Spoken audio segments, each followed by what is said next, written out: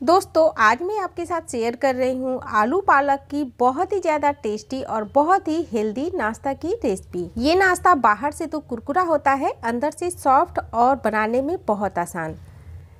इसे बनाने के लिए मैंने पालक लिया है 200 ग्राम। इनको अच्छे से धुलने के बाद रफली इनको बारीक बारीक काट लिया है।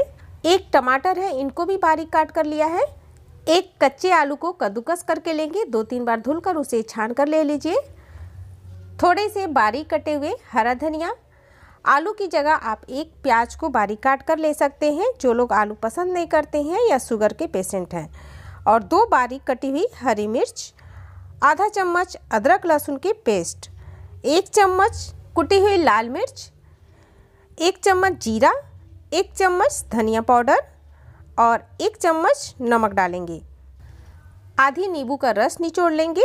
नींबू की जगह आप दही का भी इस्तेमाल कर सकते हैं। तो दो से तीन चम्मच आप दही डाल सकते हैं इसके अंदर या एक छोटा चम्मच आमचूर पाउडर। इससे नाश्ते में थोड़ी खटास आएगी और नाश्ता थोड़ा फूला फूला सा बनेगा। अब हम इन सभी चीज़ों को अच्छे से मिक्स करेंगे। तो चलिए इन्हें मिक्स कर लेते हैं हाथ से रब करते हुए, जिससे मसाले और सब्ज़ियाँ अच्छे से मिक्स हो जाएँ और सब्ज़ियाँ थोड़ी सॉफ्ट हो जाएँ। मिक्स करने के बाद 10 मिनट के लिए ढक कर रख देंगे। 10 मिनट बाद ये देखिए, सब्ज़ियाँ काफ़ी सॉफ्ट हो गई हैं और इनमें काफ़ी सारा मॉइस्चर है। तो अब हम इसके अंदर डालेंगे बेसन। बेसन मैंने आधा कप लिया है, बड़े चम्मच से चार चम्मच है और एक चौथाई कप चावल का आटा। चावल के आटे से ये नाश्ता कुरकुरा बनेगा और सब्जियों में बाइंडिंग का काम करेगा। तो इनको हम अच्छे से मिक्स कर लेंगे। सब्जियों में काफ़ी सारा पानी होता है तो इसमें अलग से पानी डालने की ज़रूरत नहीं है। हम सब्जियों के पानी से ही इस मिश्रण को तैयार करेंगे। सब्जियों में जैसे जैसे नमक घुलेगा, सब्ज़ियाँ और सॉफ्ट होंगी और ये मिश्रण नरम पड़ जाएँगे। तो देखिए, थोड़ी देर इन्हें मिक्स करने के बाद ये मिश्रण इस तरह का तैयार हो गया है। अब हम एक बर्तन लेंगे, इनको ऑयल से ग्रीस कर लेंगे। मैंने केक टिन ली है, इसकी जगह छोटी प्लेट या छोटी थाली ले लीजिए। अब इसके अंदर ये सब्जियों का मिश्रण डाल देंगे। इनको चम्मच से दबाते हुए इस तरह से फैलाएँगे। बहुत ज़्यादा इस मिश्रण को गीला मत रखिएगा। अगर गीला हो जाए तो थोड़ा सा चावल का आटा और मिक्स कर लीजिएगा। क्योंकि जब हम इन्हें भाप में पकाएँगे ना तो सब्ज़ियाँ और गलेंगी और ये नाश्ता हमारा परफेक्ट बनेगा। तो चलिए अब हम इन्हें स्टीम कर लेते हैं।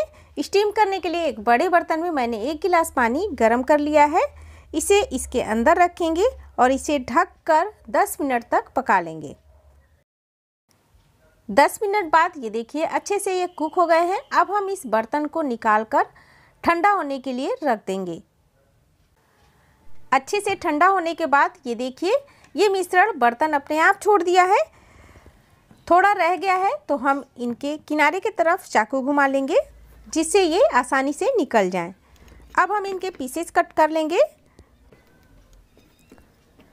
तो मैं इन्हें ट्रायंगल शेप में काट रही हूँ।